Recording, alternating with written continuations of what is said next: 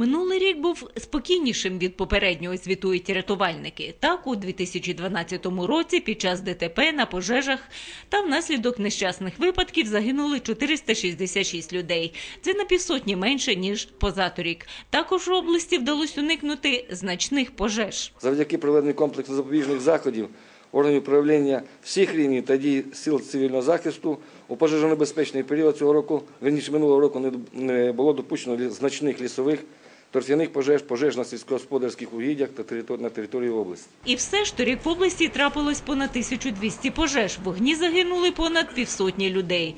Виправити ситуацію могли б місцеві пожежні команди.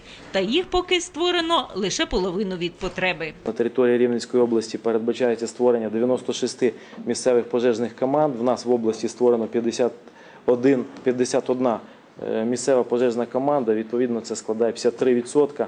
Зменшити загибель під час пожеж у висотках краю могли б спецзасоби, яких немає, кажуть столичні чиновники. А ще вони звертають увагу на незадовільний стан захисних споруд в нашій області. 28% загальної кількості захисних споруд в області не готові до використання за призначенням. Незважаючи на те, що це показник кращий, ніж середній по державі, це сьоме місце в- в рейтингу, але е, є над чим працювати. Проведено технічну реалізацію лише 24% захисних споруд усіх форм власності. Це 21 місце в загальному рейтингу.